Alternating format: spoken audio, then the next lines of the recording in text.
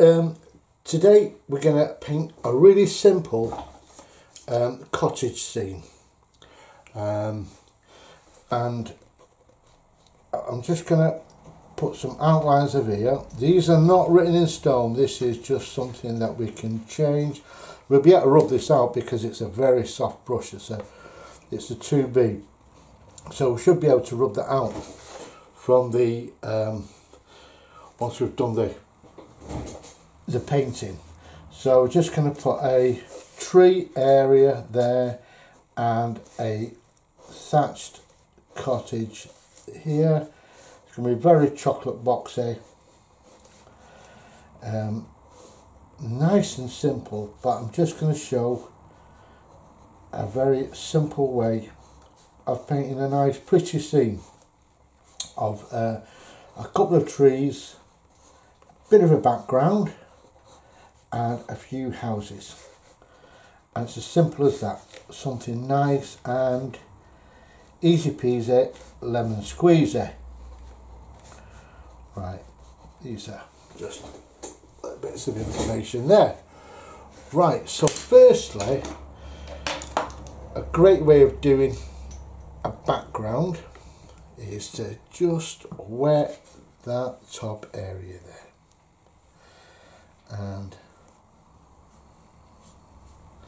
we don't have to be too uh, mad on loads of colour just a touch of uh, the Prussian blue. Bump there a little bit of the opera rose bump there. Uh, uh, uh, and you can actually use a handkerchief just to create some clouds as they're falling downwards to the foreground. So that's a really easy way of, of making some clouds.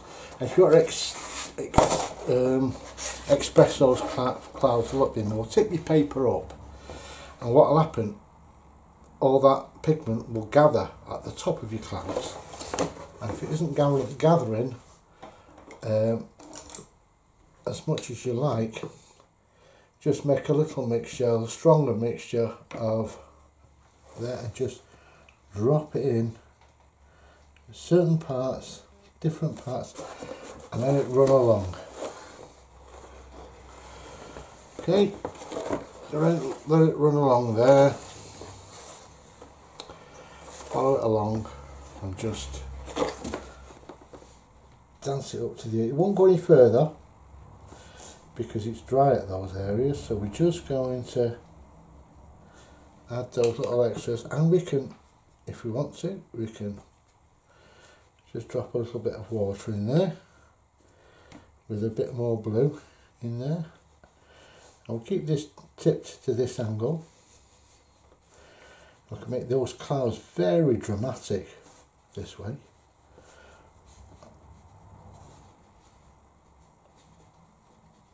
And if they're looking like they're a, bit, a little bit uniform, just take some of those out.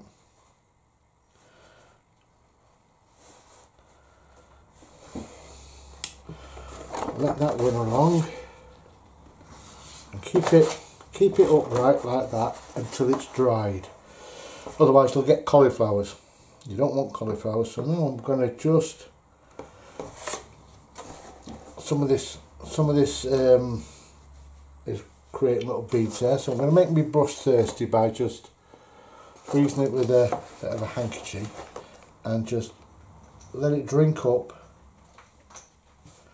Some of those puddles. Let him have a little drink of those puddles. Keep him a thirsty brush. When more thirsty, give it a wash and just with a dry handkerchief just rinse him out and he'll be thirsty again. There we go, nice and easy peasy. And that should dry nicely now. Nice dramatic sky uh, with those clouds let those dry before you tackle your trees because you don't want those to accidentally rub into it. So we'll come back in a minute.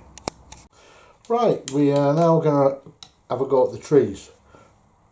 First of all, I want to put a base green layer. It doesn't, um, it's not very important. I'm using a bit of green gold here. I'm going to try and, and I'm just going to use the side of the brush. It's not that, we're not making masterpiece here. Look at this stage and down there just to give it a bit of an underpainting really that's all we're doing giving this green an underpainting and we'll move down here with the green. And down there with the green. It's very scrubby we've done that. And we'll do the same with that one. Nothing really exciting. You're not learning you know, I see he's not teaching me much here. It's easy peasy that. Well, it's all about the brushes. And if you can hunt out in your old brush box and you might have some rubbish brushes like a flat brush like this. This was initially it was it was I think it was designed for acrylics and it's just one of those cheap ones that you get from Hobbycraft you know they're not great they come in a big bundle and the cheapest chips and the ends go really jagged if you don't really look after them and the same with this one there that's another one from there that's a daily round with this one it's a three quarter flat but I've really I've not really took much care of this so rather than throw them away, I stick them in my, in my rubbish brush box. Uh, and it's always a good thing to, to have because you can um, you can create your own brushes by doing that doing that. So first of all, let's gonna get let's get a bit of green here. Uh, this is a bit of green gold on there, and we'll hit it with a bit of uh, sap green. And what I'm doing is I'm pushing down on on my brush there to break those edges. Okay and when I think those edges are a bit broken and damaged enough then I can just with the edge the tip in fact that's probably a bit too big this brush. But let's use this smaller brush. And let's do the same with that. So we're just gonna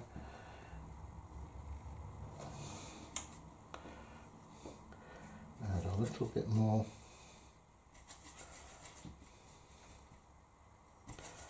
A bit more green there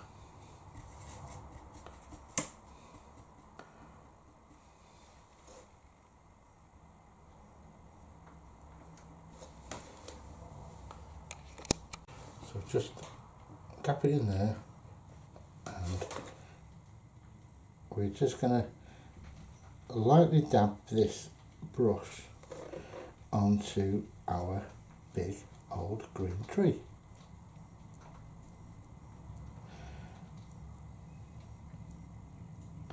And this is going to create an effect of lots of loose leaves. Just dab it a little bit and put your foot, finger down there if you want, just to, to control how far this is going down. And as you're moving around, just turn the brush from side to side to create a random effect just like random branches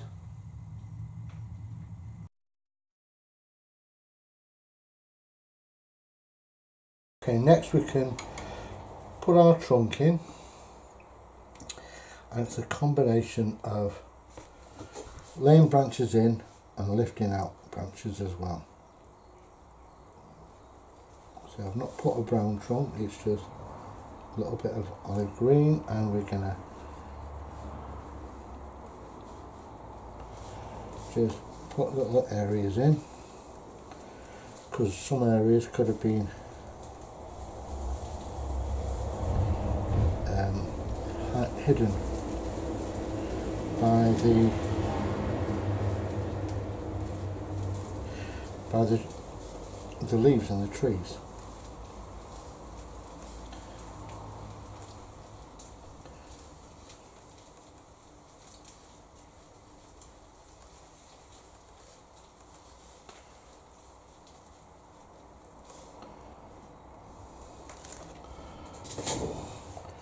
Same with this now, this side.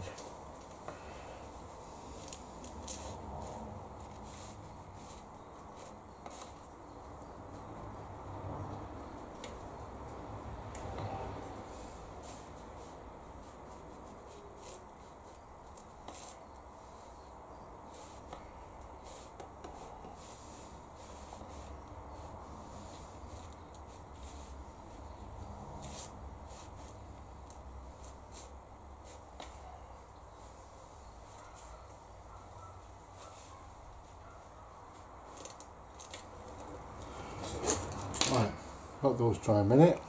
Right, now we're going to create a darker green. And I've used some of this green apatite and a bit of this. Uh, it is actually, it's actually, it's not um, sap green, it's the Anglais Clair, Phthalo green, green light. So we're just going to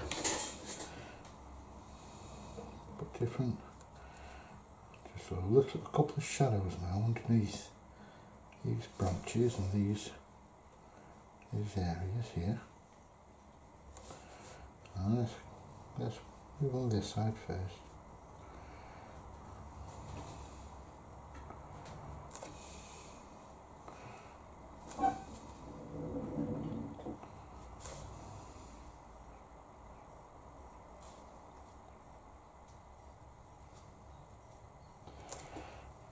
But then add a bit more water, make it looser.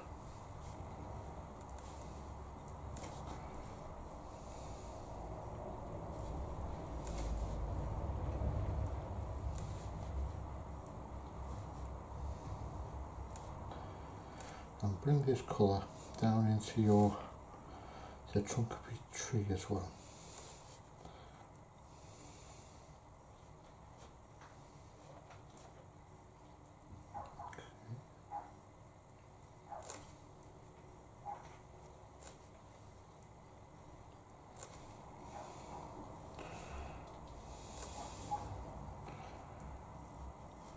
just to create a bit of a more 3D effect with those greens.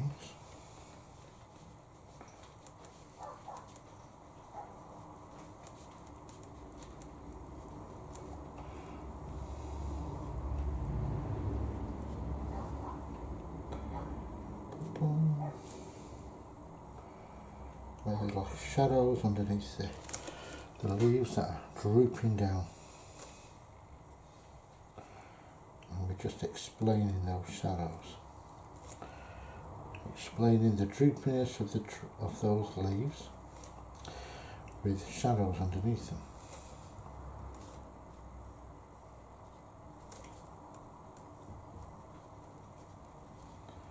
There we go. I don't think it needs more more than that. Now the same with the other side.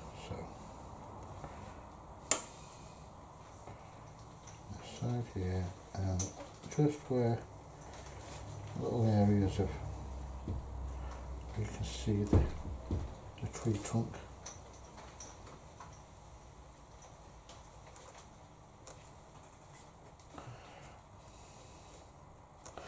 And we'll just try something. I've got a nice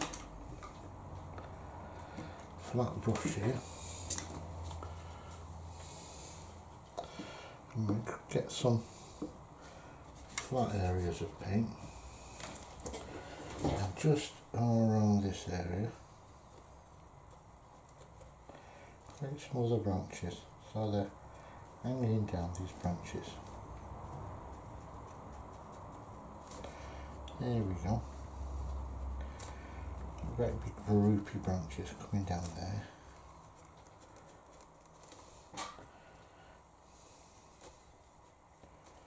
There we go.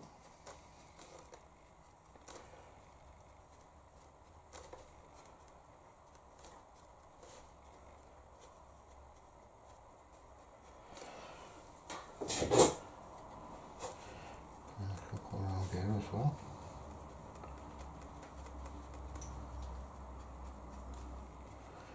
Just going over the front of the that trunk.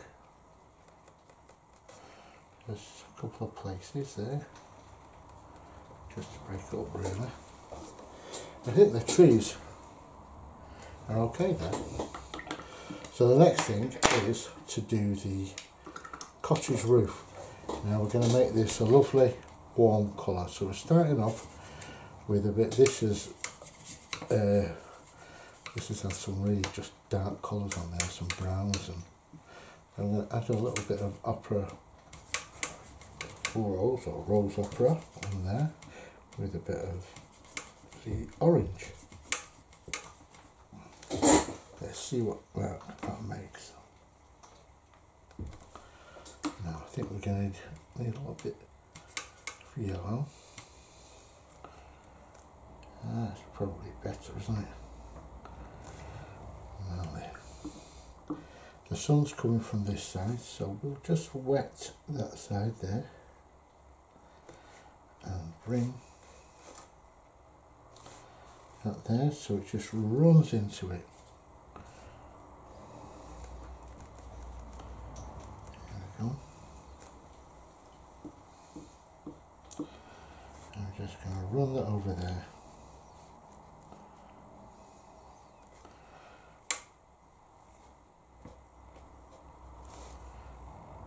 Okay, let's have another just a wet area here.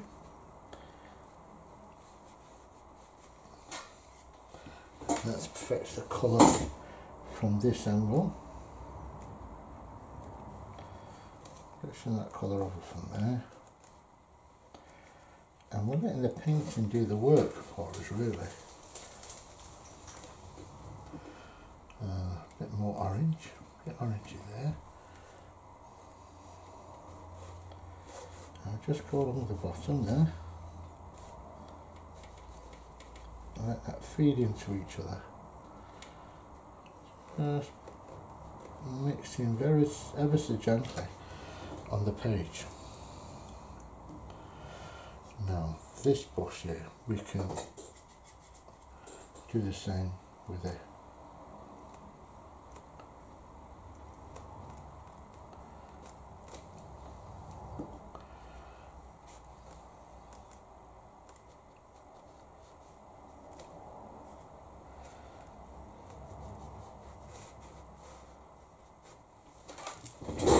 Right, and we'll leave that to dry for a second, alright. Back to it, and what I'm going to do now is I'm going to do the chimney pots on here. So I'm using a, a dark area, and I'm bringing up a little me burnt, the quinacridone burnt orange, and just this area here.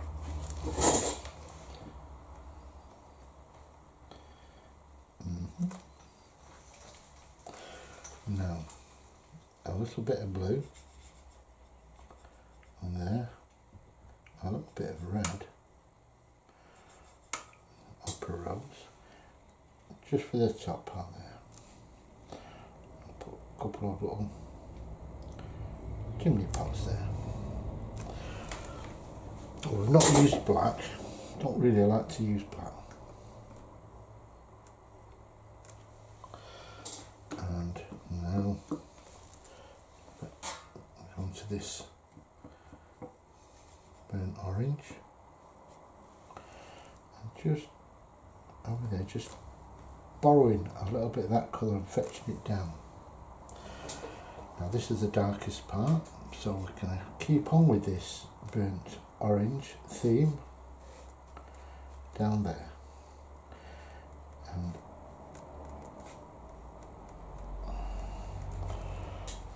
There we go.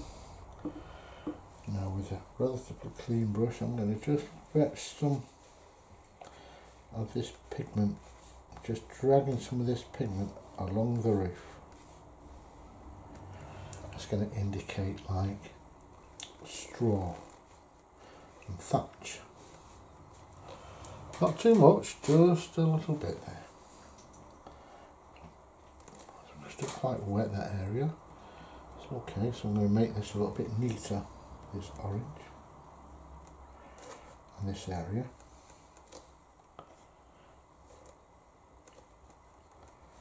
Down the bottom.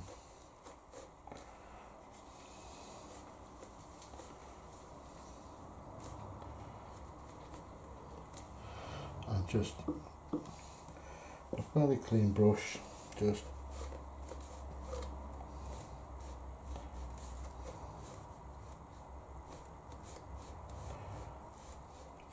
bring in some variation of colour and tone in there. Let's leave that to dry for a bit. Now underneath our shadows are going to be a, like a bluey colour so the base colour is going to be this um, phthalo blue and we can put a little bit of this cobalt in there I think just to lighten it up a little bit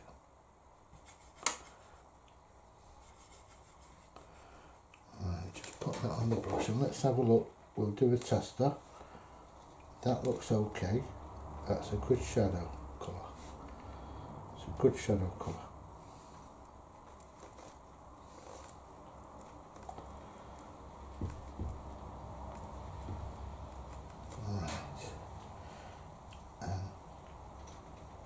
Just underneath those eaves. And now I'm not going to soften this bottom line because I want it to look like the sun is stronger there. So we keep it like that, it'll seem like the sun is casting a quite a harsh shadow on there. And it will only cast a harsh shadow if it is a very strong sunny day. Fetching those over here.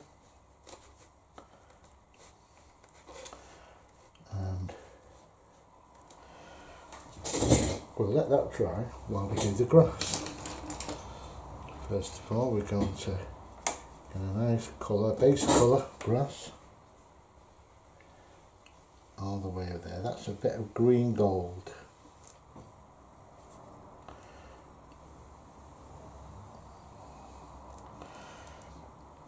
Um, and making it wetter here and drier there. Uh, and closer to the sun and just give us a couple of highlights. We might be able to save those, but don't matter because we're going to go over it in a bit. But while we do that, until we do that, let's get this bush sorted out. So I'm going to get a bit more green on there and just create some bushy effect here.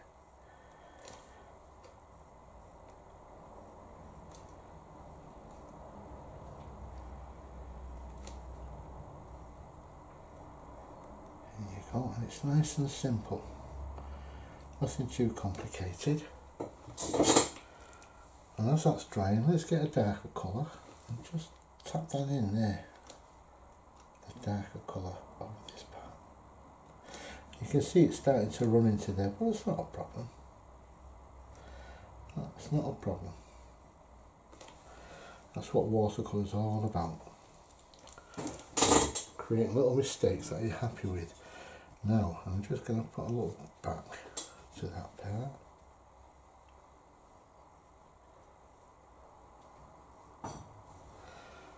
So we've got a little some hills at the back there. And you can live with that.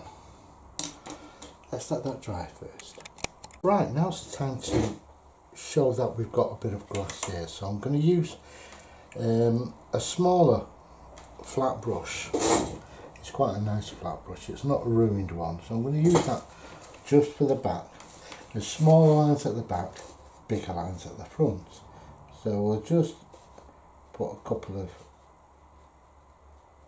little divots on there.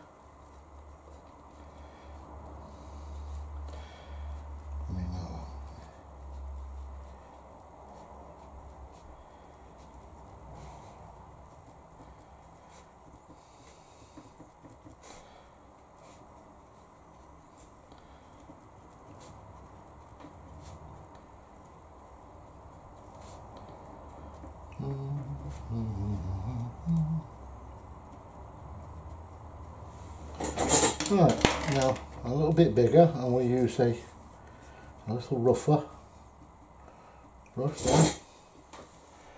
And we'll go a little closer now. Let's just dab along there.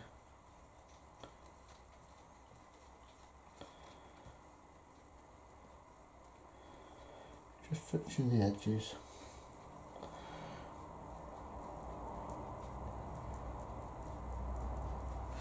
And let's get a bigger brush now because we're a bit lazy and we want to do this, get this grass done. Bash it down, break the edges.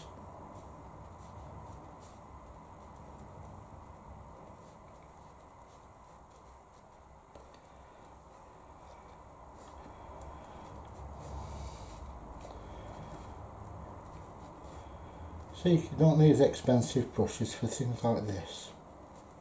Just your old ones.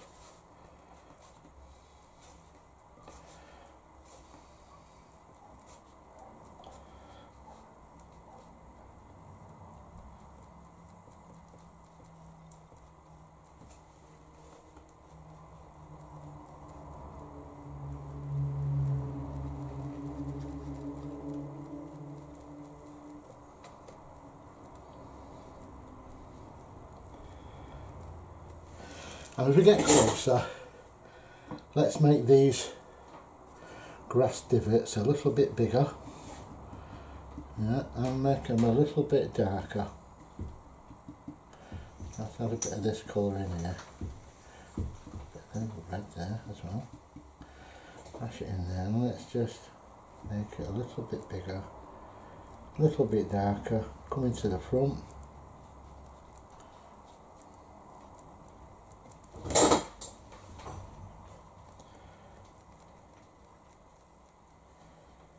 Boom, boom, boom, boom.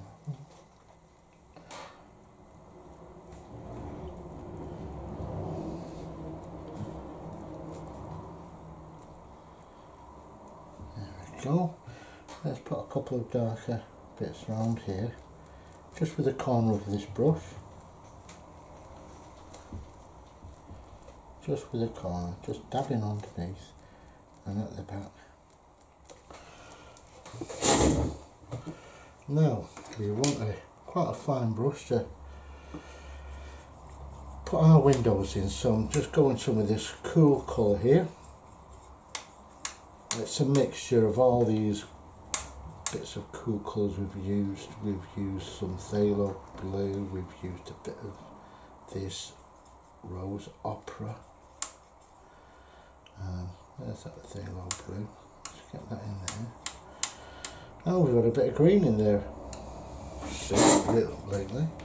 So let's have a look at what we can do here. Let's put a simple window there. We'll put a simple window. It's got two window panes on that one. There you go. Now, just along there. Going to have a window on this top there, an attic window so people can have a look out and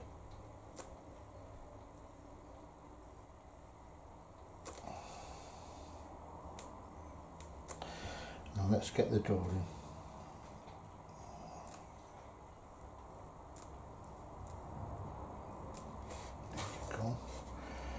have a door here as well, otherwise it could be locked in.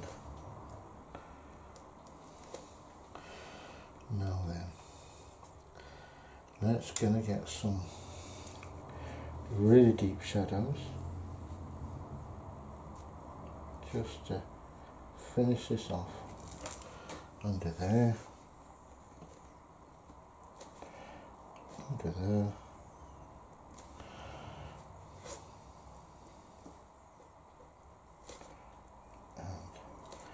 a little bit there.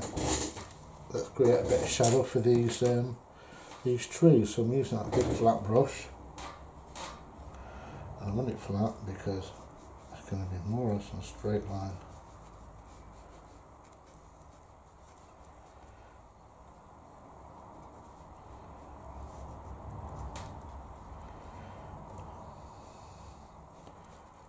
Just creating a few shadows.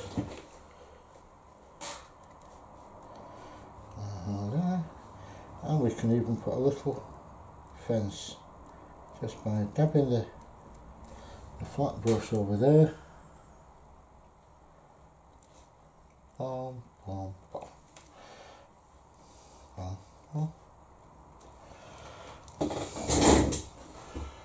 There you go, and that's nice and simple. So we've got a simple watercolour scene using cheap ordinary brushes and it's um, it's quite effective. So thank you for watching.